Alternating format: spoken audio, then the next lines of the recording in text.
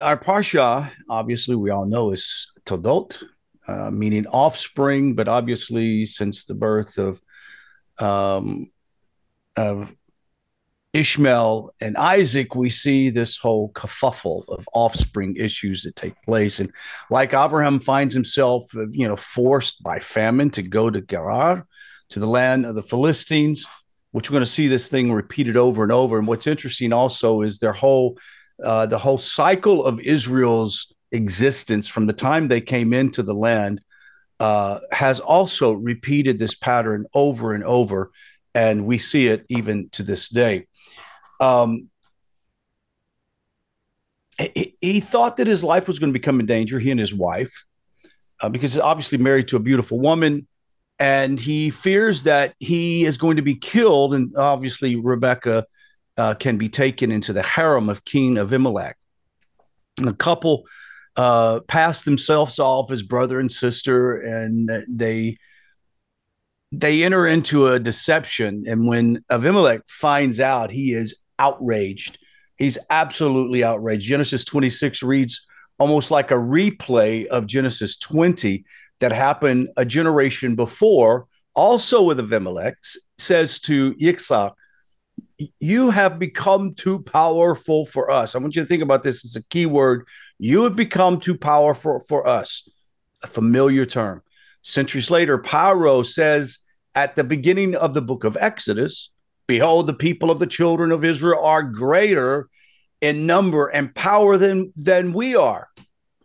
He says, Come on, let us deal with them wisely and let's uh, let's uh, unless they multiply and get larger and join our enemies in the next war we've got to do something to these people this has almost been the battle cry of the of of Abimelech from the very beginning. This is the battle cry of all of those who have uh, descended from Abraham, who have also exited the covenant. The same word, interesting enough, appears in these verses is atzum, meaning power. It appears in both cases. This idea of the Jewish people are too powerful, mentioned in in in both of these passages, are interesting. This is also one of the most common excuses for one of the deadliest human phenomena in our society today. What is it? Anti Semitism. There are those who say God is only love, God does not hate. The God said by the prophet, I love Yaakov, but what? Esau I have hated. Malachi 1 says, Because Esau deliberately chose to a course of wickedness, so the prophet says to Esau, they shall be called the notice the border of wickedness. It's found in Malachi, the first chapter. From the sides uh, side of Esau comes Amalek, the enemy of God and Israel, as it says in Exodus 17, 6, God was has war with Amalek from generation to generation. Now, uh, as Steve pointed out yesterday in class, and I think that we've mentioned it in times past, that what we see in the physical realm or the physical part of creation in which we see um, wars and nations going to wars, we also understand that we get a snapshot of what Daniel shows us that there are angelic beings that are the Hashem's managers of these regions, these 70 angels, and that they are also at some level of mitigating this war or allowing, making it permissible. Whether I don't know that they actually fight together, but there is a spiritual resistance that goes on. Now, Esav is called what? A cunning hunter. Because he tries to pass himself off as a hardworking, reliable young man, the Midrash compares Esav to a pig with split hooves. Now, the Midrash says this in Tehillim 80, verse 6, but inside his personality, he is 100% treif. He's not kosher. He's not a kosher human being. This is what makes the story of the Esavs, Esavs in the world so very dangerous. The world is full of Esavs. In the Torah, it is written there were two boys in her womb. The first to come out completely red and clothed in hair. So he was called Esau. after his brother, his brother came out with his hand grasping Esau's heel. So he was called Yaakov. This is found in Genesis 25. Esau is described as having a body covered with seir, hair, that is as uh, described as like uh, demons. Certain demons have this sort of hairiness about themselves. Now, I don't pretend to know anything about demonology, so don't ask me any questions on demons. I am clueless. I'm just describing what is found in the sources. So it says that the demons, that the hair, uh, that of demons, who are said to have uh, hair all over their bodies except for the top of their head and they're bald, like they're slick bald. It is also written in the Torah. They also must no longer offer sacrifices that the people of Israel should not offer sacrifices to the Serim, which are demons. Uh, Vayikra 17 7. Now, the word for hair in this, or the same, or actually the, the word for hair has the same root as the word in the verse above, demons.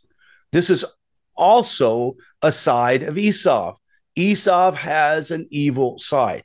We try as a postmodern era to make logic out of Esau's behavior. Terrorist, for example. At some level, many people in their postmodern um, uh, thinking and their uh, what they consider their higher intellectual values, I wouldn't say moral values, but higher intellectual values, will say, well, let's try to understand why the Iranians do what they do. Let's try to understand why the Syrians do what they do, and that this group and that group, and they all have a grievance, and the grievance legitimize uh, the murderous things that they do. Well, the problem is, is you cannot make uh, turn uh, evil into something logical. And remember that Esau is called a cunning hint, a cunning hunter if you know anything about hunting or even in the military, like a tracker or a sniper, this is really an amazing deal. A, a, sniper is able to disguise himself in the bushes. He's able to mask himself into the environment. No one has a clue they're there. And to see that work is an amazing thing. I mean, you can watch it on TV. They'll show a sniper how they are hiding, and they're literally just, you know, 35 uh, yards away from the spotter and he can't see him at all. This is what Esau is. He's he masks himself in a world of civility, all the while rotten to the core evil. Now, mind you, I n- normally do not like calling people evil and I you know, you, you want to think of the best of people. But folks, we all know Timothy, Tar, Sandy, Mary, Rav, Avner, Kura, guys, we we know that there is evil in the world or evil men in the world, and it it is telling us from the very beginning that this is going to be the pattern until redemption comes. Remember, put in the back of the mind that this is all about redemption.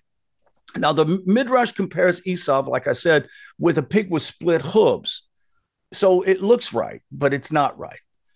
His midot, Esau's midot, the midot of, of the Esau's of this world today is 100% unkosher. That's why when people say, well, how can you tell the difference between the this side and that side. I mean, the Palestinians or the Gazans, they did this because of what Israel did to them with this. And we've heard this back and forth for, well, in our whole life, we've heard this, correct? We've heard this same thing over and over. But I want you to understand if something does evil to others, and I'm not talking about a, a, a, righteous act of war, I'm talking about evil that is done toward innocent civilians is done, they are unkosher, period.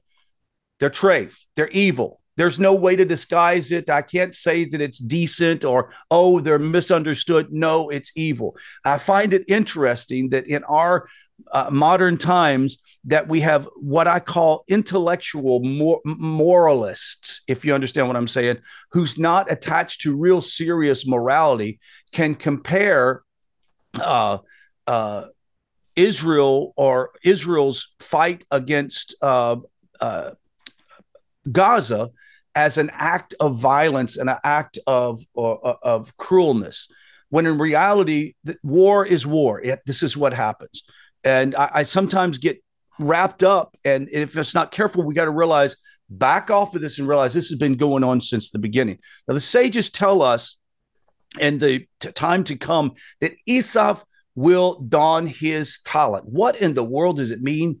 What does it mean that when he says he will dawn on his prayer shawl and sit among the righteous in Gan Eden? What? However, God knows the mysteries of the world and the workings of the heart will see right through Esau. And the Holy One, blessed be He, will drag from him, from them, Talmud in uh, Nedarim 12a. Things are not as they appear.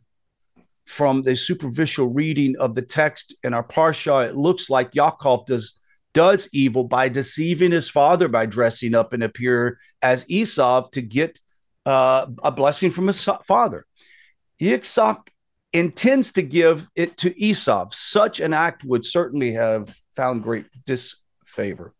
But we see at this point, and, and this is not, uh, we see this is not so at the end of this parsha that we end. Yitzhak sends Yaakov to Padan Aram to find a wife and bestows upon him Abraham's blessing that he will inherit the land.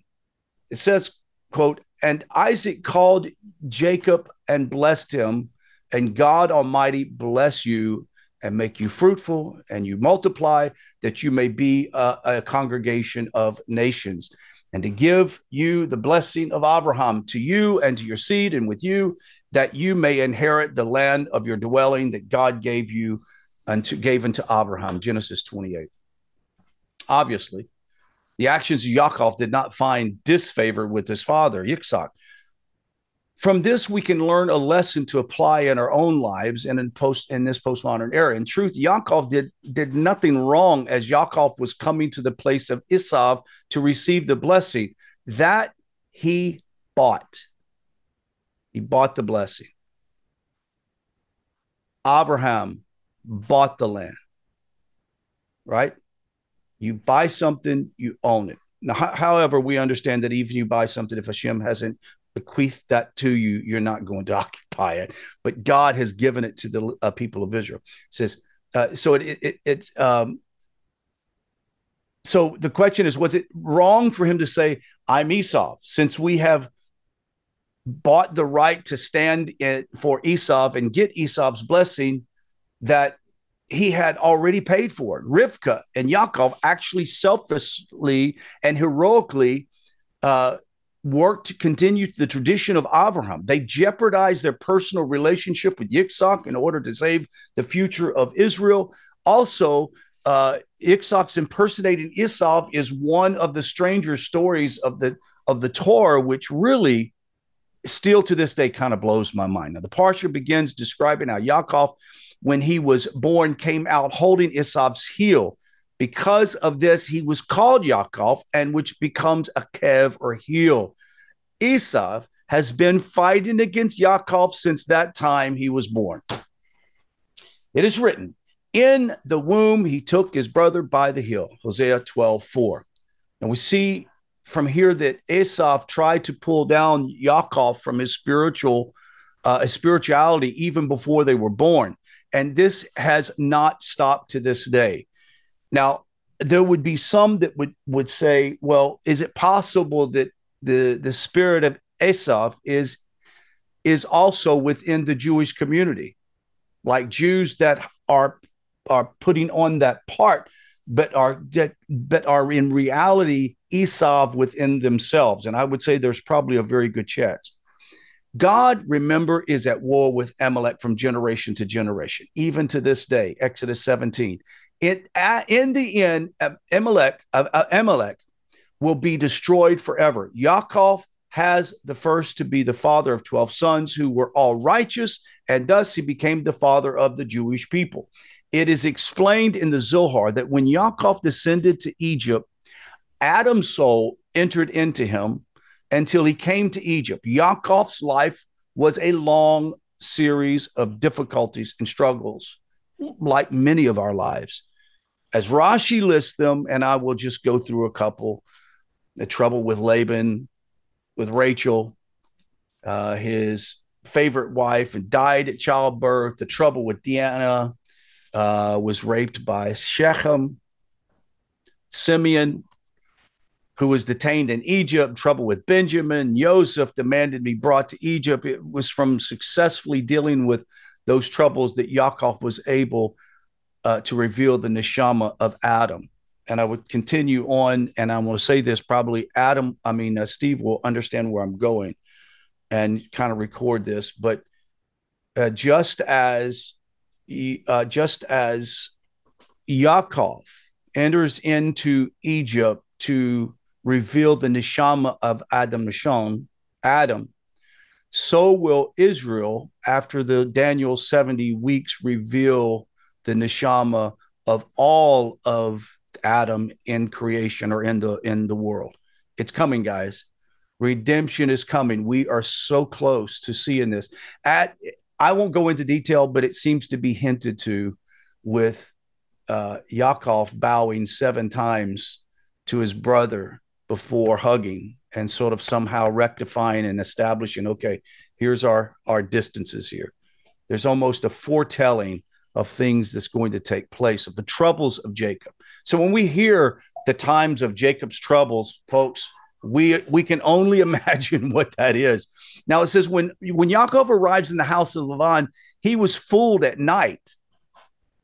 He when his vision was impaired and and and everything was switched up and he was fooled which is interesting how um, the dark side really loves to pull pull one over on you. Isn't it interesting that he is fooled at night when he's blind the same way his father was fooled when he was blind I just all these amazing stories are here uh, let me wrap this up real quick. Uh, Lavan res- uh, responds, uh, We don't act that way here. We give our younger before the older. It's like, hey, you're, you're crazy. We didn't do this on purpose. We did this because it's proper. Now he remind he remains in the in Haran with uh, Lavan. De- uh, deceptiveness for the next 12 years. Yaakov tricked his father by wearing goat uh, skin of goat in his arms. Similarly, when Joseph was is sold by his brothers, his children tricked Yaakov into thinking that Joseph was killed with the blood of a goat. This is all obvious providence. Yaakov spends 22 years mourning the death of supposed death of, of his, his beloved son Joseph. In this world, Yaakov, who is the Jewish people, only emulate or appear similar to people of Esav, the Western world, which is re- representative by Esav, Esav's heel this beginning being this being only a small part of their physical actions. Yaakov liked Esav, may work and jobs and eat food and produce, and yet only on the outward physical appearance does he do these functions. Like Esav, the foot represents Malkut, the physical manifestation, yet even of this, Yaakov only grasps to Esav's heel not his entire foot. Only in appearance, sometimes does Yaakov perform physical functions. And we're talking about this as well as referring to the Jewish people. The Jewish people seem to be carrying the same physical functions as all the rest of humanity. But, my friend, no. They have a higher level function in the world, in this world, and the world to come, and also in the world of Shemaim. But in the realm of emotions, thoughts, needless to say, spiritual motivation, there is no comparison between Yaakov and Esau. Spiritually is aware and partition or, or, participating in the return of divine energy and source through their prayers, through their mitzvot, uh, through their character. And the flow of this energy outward gives life to the world, it animates the world whether for healing or renewal or just finding a better taste for a food or a wine or a good night's rest. Uh, Israel, in their in their uh, in their um, practice of mitzvot, bring in this illumination. All happiness in life is there. The process of returning is also called repentance. Such is the, the nature of the universe. Everything returns to its root which is directly attached to its source. It is to be attached to the infinite, the eternal essence of the universe, which is as a unfailing fountain of life that flows forever. As to Yaakov, the only purpose of being in this world and the underlying cause of all of his actions is to serve Hashem. That's why it says, and it will make, I will make you a seed and multiply you as stars in heaven and will give to your seed all of these countries. And in your seed shall all the nations be of the earth be blessed because Abraham obeyed my voice and kept my charge, my commandments, my statutes, and my laws. Therefore, we must follow in God's ways to hasten the blessing. It says in the Zohar that the, the world as is as a living body, that we're this world is an organism. This evident, this is quite evident actually, when we see that Esau showed complete disregard for his birthright and sold it there immediately, had no second thoughts about it. He was going to die. If Esau is removed from his bond with es- uh, ya- ya- Yaakov, he becomes Esau Harasha, evil Esau. If he has some association, we see less of that. It says that in the uh, that uh, because of his disregard from the covenant and his lack of regard for it at all, uh, he also cannot stand that his brother has the covenant. And one of the biggest arguments that we have with um, um, Hamas and their charter is that Israel has failed to do its portion. They have failed to become God's people, and therefore we need to kick them out of the land. They saw this pattern over and over, and they figured, hey, this is true. At some level, they're not wrong. But where they're incorrect is God has decided to put them in the land, not them. God's not going to take them out of the land or force them to stay in the land. Nothing is dependent upon anybody else except for the creator of the universe. God decides that, not the Palestinian people, not the Syrians, not the Iranians. So, therefore, we see this pattern over and over and over. We shouldn't be surprised, but I want you to know that redemption's coming. Okay. Like we're seeing the this the footsteps of Mashiach right before our eyes. This is an exciting time to realize that even though we see Jacob's trouble continue, don't be troubled. And I'm not speaking this to you because you guys aren't troubled. I think that you truly do see clearly what's happening. But to our friends that will watch this text later on in in uh, in on YouTube, etc., uh, you're going to realize that better days are ahead of us. There is a change going on. There's an illumination. Remember, what appears on the physical in the physical realm is merely the superficial elements of what is going on in the spiritual realm. Okay? So there are battles being done and you should feel good that there are good holy battles going on in other dimensions to protect uh, his people and to protect the righteous of the nation and most of all to bring about the illumination, the gathering sparks of Abraham throughout the, I mean, of Adam throughout the world.